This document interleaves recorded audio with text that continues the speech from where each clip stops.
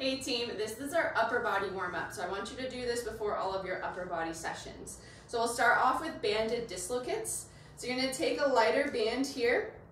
You can also do this with a broomstick. The only difference is it's not gonna have as much give. So the broomstick's actually gonna be a little bit harder. So with your band, your feet are gonna be together. I want you to bring the rib cage down towards the hips, squeeze your glutes, squeeze your quads, keep your body nice and still. You're going to grab a little bit farther out on the band. Keep your elbows locked out. Think about making a big semicircle on the way up, big semicircle on the way back. Don't bend your elbows.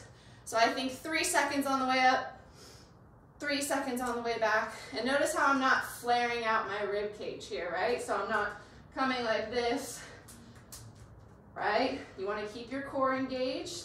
And then as you begin to loosen up through your chest, through your shoulders, walk your hands closer together and really challenge that range of motion. Really feel that stretch through your chest. Next, we'll come into a lying big three. So you'll come on down to the ground.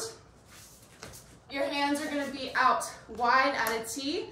Think thumbs up. I have my forehead down on the ground and then I'm just lifting straight up and back down. I wanna control the movement on the way down and up Give me a squeeze at the top. So you should really feel this just in your middle back.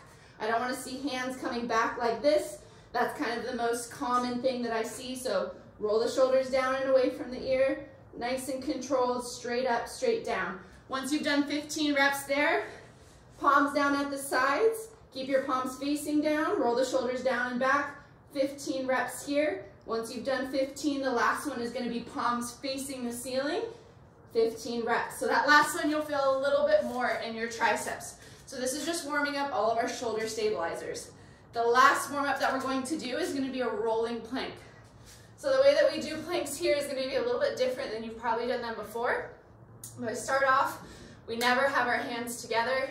That allows your upper back to kind of take over the, mo the motion. Hands are apart. I want you to create a fist Coming up on our toes, you're gonna pull your elbows towards your toes, toes towards your elbows, squeeze your glutes, squeeze your quads, belly button in towards the spine. You've got 30 seconds here. Then we'll come over to our side, 30 seconds here. Really lift up through this bottom hip. Keep your body nice and straight. 30 seconds back on our forearms, and then 30 seconds back on the other side.